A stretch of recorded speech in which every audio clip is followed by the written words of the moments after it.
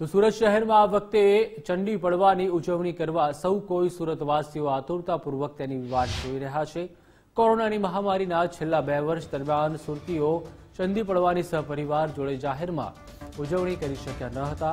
જોકે આ વખતે સુરતીઓ દ્વારા ચંદી પડવાની ઉજવણી કરવા અંગેનું આયોજન કરી દેવામાં આવ્યું છે, જેમાં ઘારી, ભૂસાની ડિમાન્ડના પગલે સુરતના ઘારી વિક્રેતાઓ દ્વારા મોટા પ્રમાણમાં ઘારીનો જથ્થો તૈયાર કરવામાં આવ્યો છે.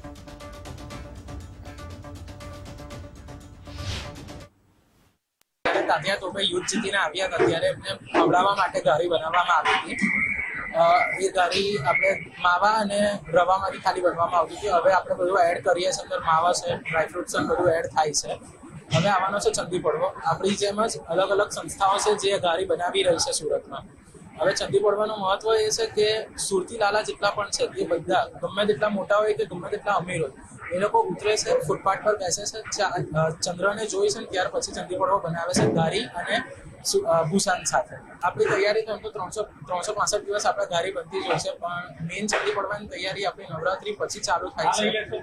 નવરાત્રી પછી આપણો મેઇન ફોકસ ખાલી ગારી પર અને ભૂસું ઉપર હોય છે. અને બીજી બધી પ્રોડક્ટ્સનું આપણું સેલિંગ ને બધું હોય છે, પણ એમાં ફોકસ થોડો આપણો ઓછો હોય છે.